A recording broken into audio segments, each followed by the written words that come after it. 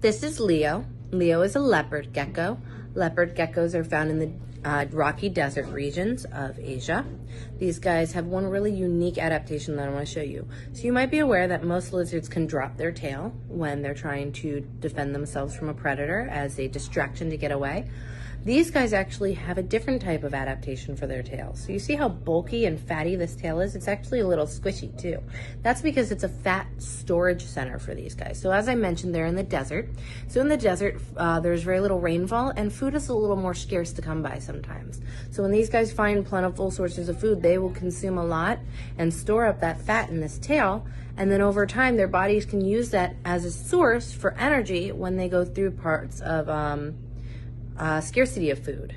So thanks for watching.